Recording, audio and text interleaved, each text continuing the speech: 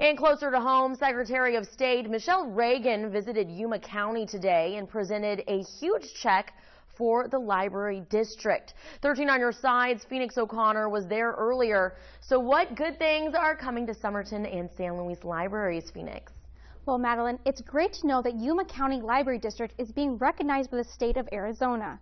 Secretary Reagan presented a check for $20,528, and the money will go to improving the science and technology programs for those libraries and will be equipped with six, tablet, six tablets in the youth department.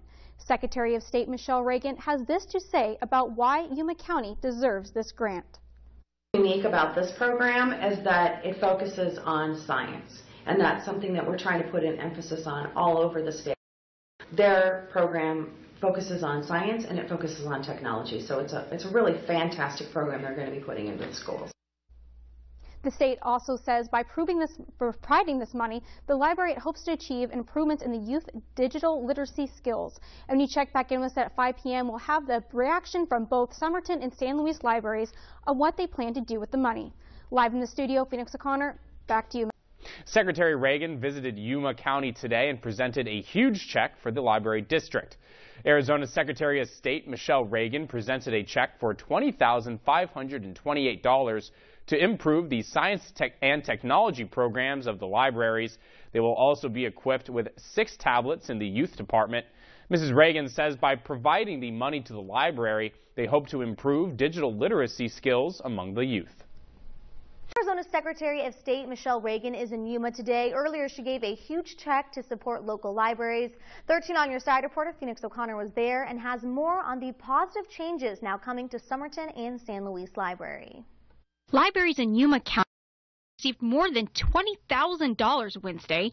Arizona Secretary of State Michele Reagan presented the check. Really pleased to be traveling around the state, especially to some of the outlying counties, um, giving out grants to some of the counties who get it, who understand that libraries are not areas where people just come and read books and are quiet anymore. They're centers of innovation. Counties all around Arizona applied to receive the funds. However, Yuma County was selected. It was a competitive process. Uh, their application stood out, and um, they earned this for sure.